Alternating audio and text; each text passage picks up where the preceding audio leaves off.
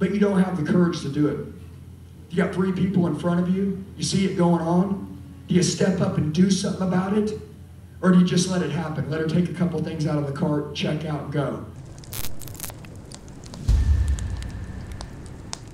My GM's got to go live every day. Your GM's got to be, listen, we still got to sell cars. I get it. A customer's there, they buy a car, we ring the bell, everybody on the showroom floor goes Facebook Live. Woo!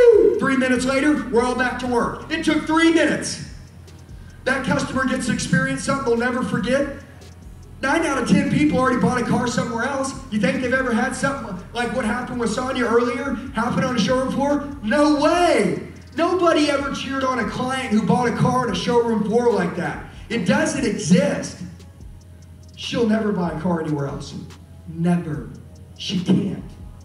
Okay? We, we literally took her soul. She'll never be able to buy a car anywhere else again. When she leaves, she'll tell everybody about us. I guarantee she's calling people right now saying, You can't believe what happened to me today. Now she shared it on her page. We've all got it on our page. If anybody knows you, they know that you sell cars. And everybody that we get, we have to tag.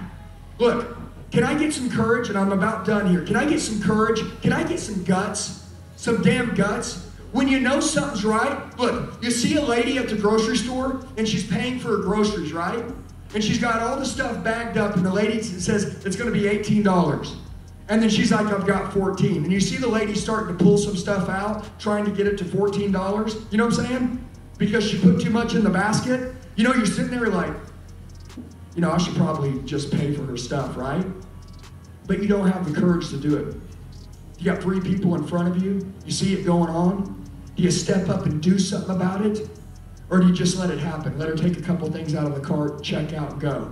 And then you're like, man, I could have stepped in, but I didn't have the courage to do it. You see something, you stop whatever you're doing, and you do it. I want that same thing to happen in our dealerships. A lady walks by, gets a bag of popcorn. Guess what happens? How's that popcorn? Good? Woo! Take a picture with some popcorn. Who's got the best popcorn in the world? Right here. Guys, what's going on? I'm right here with little Junior Burkheimer. He said we got the best popcorn in the country. Listen, you want some free popcorn? Come down here. I'll give you as much as you want. Bring your little crazy kids down here. Tell them we got uh, uh, pony rides, flags are flying, any, anything you want. But free popcorn. Come down here. My name's Andy. Shoot me a text. Let me know you're on your way. Hell, while you're eating the popcorn, I'll wash your car for free. Guess what? People start showing up. They're like, man, I've seen you every day. I've seen you, and I watched you in the shadows for six weeks, going live every day being funny. And I'm here today because I just wanted to say hi. Boom, they buy a car off of them. They'll never buy a car off anyone else. Or you'll be out to dinner. Guess what? They'll walk by. You're the car guy, aren't you? I know exactly who you are. That's what I need in this room, guys. I'm looking for total domination. Our playbook, our social media playbook that we created for your company is deadly and it's dangerous only if it's used. Would everybody agree? All right. So here's what I want to do. I want you to just look at yourself tonight and say, Have I given 110% or is there more? I want you to think, Have I been the reason? Have I truly, have I been the reason why we haven't grown? Have I actually stopped people from growing because of my mouth? Have I talked negative about training or social media? Or have I said to my favorite employee, because you know, me and him are boys, right? You know, I'm a manager, he's my sales guy, me and him are boys, and I'm like, bro, you, you don't have to do that, man. You know what I'm saying? I mean, just let everybody else do it. You don't have to do it. You just ruined the whole program for the whole company. Good job, man. Good job on letting people slide. Isn't it a shame? That's how companies lose. I have a rule at my company, okay? Things change all the time. They change all the time. All the time. It's constantly changing.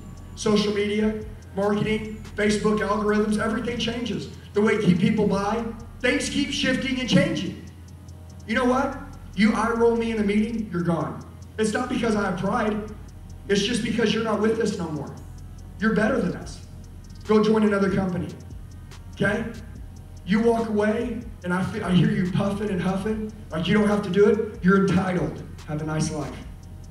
Look, I want to be around people that are on the same mission as me. I want to win. We only get one life, guys. We don't get nine. Okay, you don't get two lives, you just get one, all right? Are we living it to our fullest? Do you have more to give? Good. Bring it. I'm going to tell you this. Should anybody have to remind you of what you should be doing? The person that can self correct is forever wealthy. The person in this company that's going to get the next door is the person that can self correct. You know what that means? You know what to do? Do it. Okay? And, and use your gut. I, I want to ask you this guy right here, clearly, he is spending a lot of money right now on social media. The general managers are amazing. The salespeople, as we're teaching them, they love it. It's a little hard, it's uncomfortable, but they love it. They know it's good, and they're trying to do the work. The only way that all of this would collapse was if I didn't have management support. Without management support, we have nothing. We really don't. So, Berkheimer, your stores will double easily in the next 60 days of business. They'll double. I promise you. You'll own the whole market. And if you don't, it'll be because someone in your company doesn't believe. Don't be that person. Just don't be that person. And by the way, I'm grateful. When I say this to you, I'd love to get up here and I'd love to say, hey, to follow Berkheimer, you guys did the best job of your life last year. That's incredible. But you guys know last year's over. Just in case anybody noticed, we're in February and we have to, we have to, we have to answer to this year. Okay? We already celebrated how many times about last year? I mean, for 45 days we've been celebrating what we did last year. I'm sorry, but if we keep celebrating last year, we're going to get our ass kicked this year, and you're going to look up and you're going to be very disappointed.